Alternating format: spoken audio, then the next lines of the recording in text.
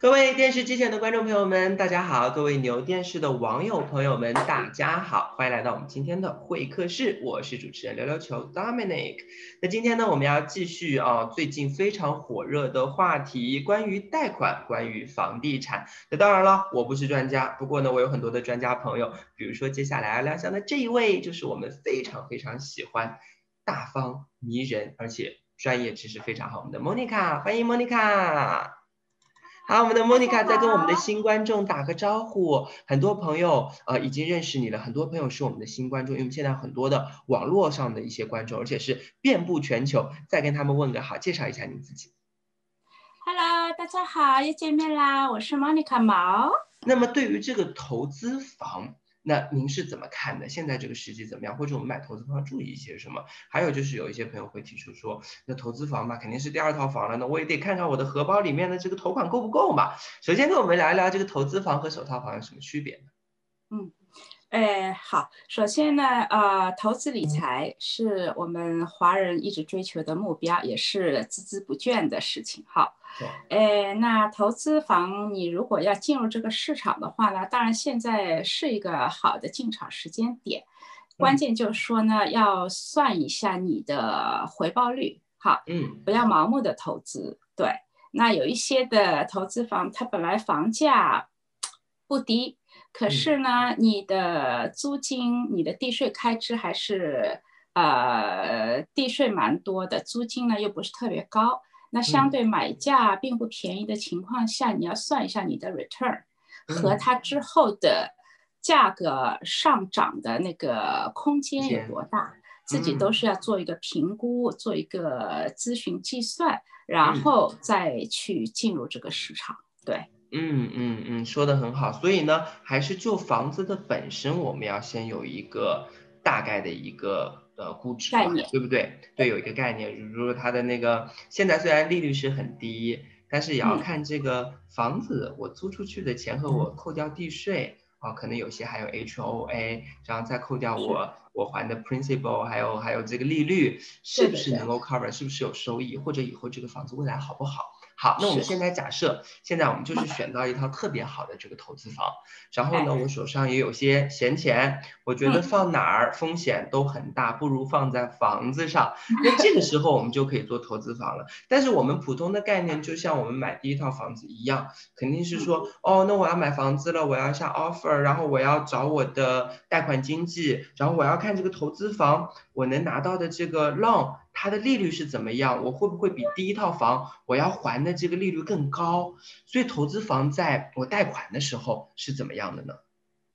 呃，贷款的方面，如果利率方面来讲呢，投资房是要比自住房的利率要高，基本上会高零点三七五个 percent 到 half point 的 percent 这个这个 range 里面。对，因为你是有投资的呃 business 的 income 有 profit 的，对。哦，所以跟我们首套房拿到的这个贷款是不一样的，对不对？对对。好，然后你买投资房哈，提醒一下，你买 single house，你买两个单位、三个单位，up to 四个单位，利率也有不同。哦，是哦，single family 也是这样子。嗯，four units 的那个 fourplex 的利率会比 single house 那种的 investment 的利率还要再高一点。哦，我要问一下，如果对投款不够又想买投资房，那怎么样做这个会最划算？包括可以可以形成，可以成立，有什么方法吗？好，投资房的买房，它的贷款呢是有一定的限制的，不像自住房。好，首先你投款的部分，你投资房你资金不够，你也没有办法让自己的亲戚做那个礼物赠与不够的部分给你补进去。啊，这个是不行的，所以这个就是提前自己要规划好，把那个投款的金额的部分，已经在买房之前的两三个月已经存入你的个人账户里面了。好，不要有马上的即刻的那种存入，那个是不接受。你当然还要考虑到，除了投款的部分，还有 closing 的 escrow 啊、title 这些费用。当然，重要的是你投资房，你还要准备好那个预留金。就是那个 reserves，reserves 也不是可以做礼物，也不行，也得事先准备好。如果你有那个股票账户啊，或者是有退休金四零一 k 这种 Roth IRA 或者就是四零一 k 那种的，啊，是可以做你的 reserves 的部分。好，哎，这个好像有点陌生哎，好像我们本来在买房子的时候没有这个预留金，这个预留金是专门呃针对于投资房，它它的作用是什么呢？呃，它就是有这个呃规定，这个 lenders 它有个 guideline。那主要是要看你，既然是投资嘛，你不能说什么准备都没有，那之后六七个月的 payment 地税所有的开支，你付不出来，那银行会有一个 concern，所以它需要 reserves 要看，对。哦，所以我们在买投资房的时候，你不能这么觉得，哎呀，我大概百分之五十的头款有啦，然后做 escrow 的费用有了，你这个不能算的刚刚好，一定要多算一点。刚说到说到这个预留金，大概是房子的百分之多少呢？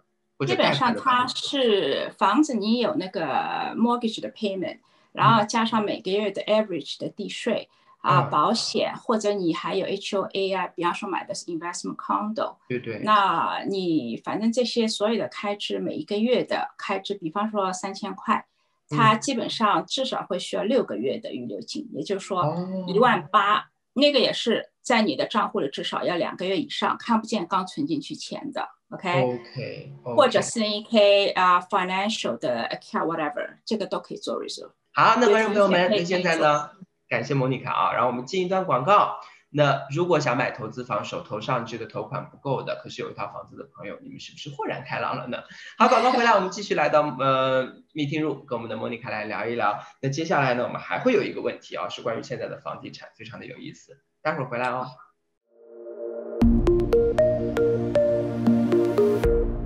好，那刚刚我们已经解决了一个很大的问题啊，要买投资房怎么办？那我们就延伸到第二个问题了哦，觉得说房子可能会掉，最后没想到，我刚查了一下资料，南加州的房子平均涨了百分之十七，洛杉矶有百分之十四点多，好像看来 San Bernardino 涨最多，Irvine。呃，Orange 涨了很多，反正总而言之，房价一直在往上走。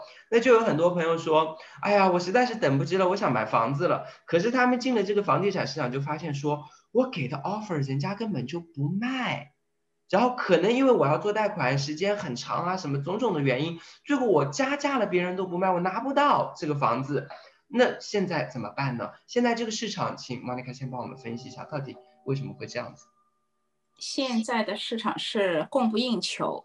嗯，就是房子是缺货，那到底什么方法可以把这个房子拿到呢？嗯，其实方法不止一种，那要看你自己本身的那个情况。首先呢，如果我们是讲自己财力，就是充分准备好你的头款 closing 的资金的前提下，你写 offer 的时候呢，啊，你会底气比较足。对，也就是说，你写 offer 的时候，比方说开价是九十万，你说我的头款就是五十万，你把你的 bank statement 提供出来，或者说我还有 cash out 的钱，马上 refund 就可以出来，我加起来，我哪怕我都只要贷十万块我就 OK，或者我凑一凑我就不用贷。啊，这种就是用你的财务资金来压倒 seller，让他接受你的 offer，有钱还是王道，任 性 任性。所以呢，就是不用去被他啊加价，比较容易拿到你这个 offer，这是也一种方，就是一种情况下的方法哈。嗯，还有一种方法呢，就说你啊预先做一些贷款的预先批准的工作，做的充分一些。对，就是说你的 pre-approval 的 letter。你最好就是递哪一个 offer 的时候，你让你的呃 lender 把这个 subject offer 的 property 地址也放在上面，然后写比较精准，就是估算比较精准一些的呃 offer 的那个 price 和你的 loan amount。loan amount 的话呢，你基本上头款，我我建议在让对方看到你有买家的二十五个 percent 以上，这个是至少，你不要写个我才。付五个 percent，我才付十个 percent，或者最 basic 的，他就不太在那么多的好的 offer，multiple offer 当中，他不太容易选到你。OK，那我还建议说，你的 lender 把你的信用分数也写在这个 pre-approval letter 上。当然不是说一定要帮你查信用之后，你告诉你的 lender 你的分数比较准确的，一个月前或者你查过的，嗯，基本上的 middle 的分数是多少，让他帮你放在上面。对，嗯嗯，那就是给 seller 一个感觉，我很有诚意，而且我的准备工作都已经做好了，而且是针对你这个 offer 的。对我不是针对所有的 target 的去 offer，我是针对你的啊。那一定要是 direct lender 出的信，那嗯，其他的呃，就是对方不太觉得有有那个可信度，对，嗯嗯呀，那你的 bank statement 也准备好比较 update 的东西给对方 proof 一下，你的投款确实是在在这里，对，嗯，还有一个关键点呢，就是说 lender 的配合也是很重要。没错，因为现在你 seller 其实是挺挺牛的，对不对？挺牛的，有那么多。那啊，对，排着队等我要我这个房子啊，那我 挑谁呢？对吧？好，感觉是员外的女儿，我不愁嫁我。OK，门槛都打破。嗯，对，那你啊，接下来跟他讲说，哎，我再给你一个好的啊，比较 strong 一点的我的条件。嗯，那我的 lender 告诉我，你这个 offer 哈，我基本上。哎，三个到四个礼拜之内，我一定帮你 close escrow。哦，让他快点拿到钱。对，就说我跟你保证，说我 remove contingency 基本上在十五十七天之内，我的 appraisal 基本上 no appraisal contingency，它更 comfortable，或者不要写 no appraisal contingency，就说，哎，我这个 loan 的 contingency 我也没有。那我跟你 remove contingency 的话，那我给你啊十五天左右，然后我 closing 我基本上三个礼拜到四个礼拜之内，我一定帮你 closing。那我 appraisal 如果有的话，我七天之内我跟你 remove appraisal 的 contingency。反正就是你的 lender 会 support 你，帮你做到这些，你就有这 power 去告诉 seller 你，嗯我的条件这么好，你不选我选谁？嗯嗯，而且我觉得，如果做到了这一切的话，可能如果有人虽然他的 offer 出的比你高，但是他可能不一定会得到这个 seller 的信任。他如果你做的那么多的话，他会觉得说，因为你 close 的时间很快，很快这个房子我就会卖掉。我不会说我今天接受了一个 offer，最后我还没卖成，所以最后你会得到你这个房子，会得到这个 offer。哦，所以艾丽，我还是发现现在真的是。要买一个房子，还是要表现出我的财力是一方面，另外还要表现出我的诚意，这样两方面你才可能会买到你心仪的房子呀。不过其实听了那么多，有一个很好的 lender，有一个很好的贷款呃公司，对，包括你本人的三方这样的一个合作，才有可能用你最理想的价格和你抢到你最理想的房子，哎，缺一不可耶。是，现在太难抢，对。最近有没有打算再入手一套呀？很难，不过也很难预测啊，说不定我觉得南加州的房子还会持续的上去。当然了，我觉得还是住买房子的人可以好运。